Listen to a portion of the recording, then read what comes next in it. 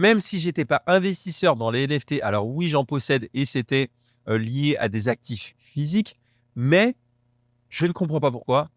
Ma vidéo qui a le plus percé au dernier bull run, c'était une vidéo sur les NFT qui expliquait comment acheter et vendre des NFT en deux minutes. Elle a fait des centaines de milliers de vues. Pourtant, j'étais pas dedans, j'étais tout simplement investisseur. J'expliquais comment acheter et vendre un NFT et elle a complètement décollé. Bref, ensuite, on a eu la narrative des play to earn, les P2E. Les play to earn, c'est tout simplement tu étais payé pour jouer. Ensuite, on a eu les move to earn. Je sais pas si tu étais là au précédent cycle. Eh ben, il y avait Stepen, le projet Stepen. J'étais à fond dedans. On s'est fait des milliers, voire des dizaines de milliers de dollars. Des fois, c'était 3000 dollars en un seul jour. C'était tout simplement de la folie. Alors oui, c'était une bulle, un peu comme la bulle des tulipes, certes, mais on s'est fait des en or à ce moment-là.